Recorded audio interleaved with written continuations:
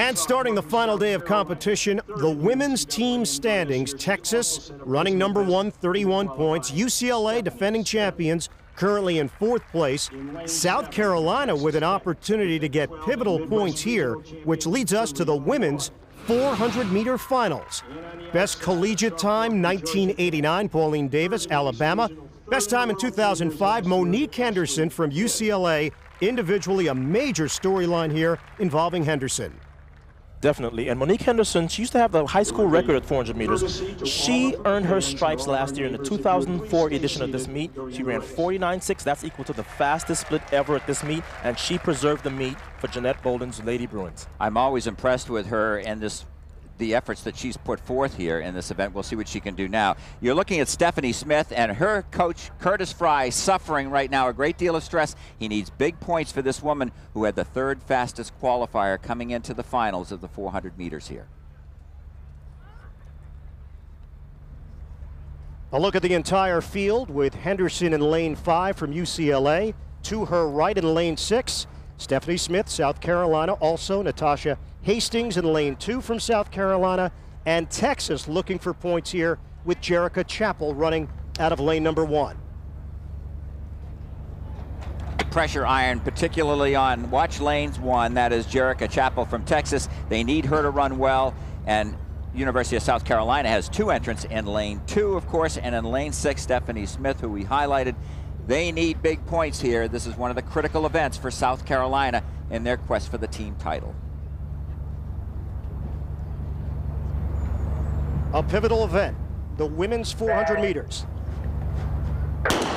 Monique Henderson in her final race of her collegiate career in lane five.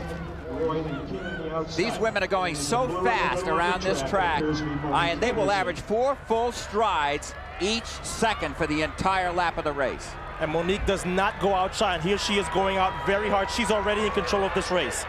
Also, Natasha Hastings in lane two, wearing the black, a good showing phenomenal. This is unbelievable if she doesn't tie up. She has about five yards on the rest of the field. Sensational as we approach 140 meters to go in the race. Monique Henderson heading for home, trying to end her collegiate career on a high note. And after so many years of frustration, look at Monique, look at her, look at the stride. She is shaking off four years of frustration right here. Henderson has her individual NCAA championship in 50-11, the women's 400 meters. That is the fastest collegiate time ever run 50.10 seconds officially. She breaks Pauline Davis's record of 16 years ago. A great performance, and after all those years of struggling, she came out of high school highly touted and got complacent, I think even by her own admission, and now she's finally done it she said it was so easy in high school. I didn't understand it. I was living a dream. I just kept running well all the time.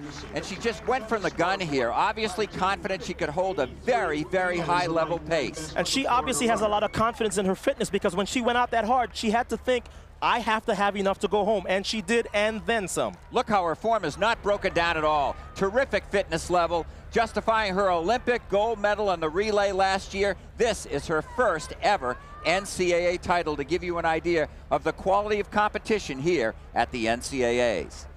What a moment for Monique Henderson. She's downstairs with Tracy. Monique, what a race, a collegiate and a meet record. Did you realize you were going that fast?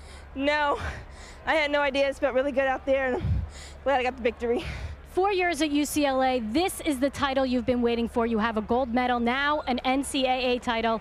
Is this all you've been waiting for? Oh, this is it. This caps are great. Four years. I'm so, so happy right now. Well, congratulations. Thank you. And the maturity has paid off for Monique Henderson in her final collegiate meet. Henderson wins the women's 400 meters. A time of 50-10, new collegiate record. Tiandra Ponteen from Florida finishing second.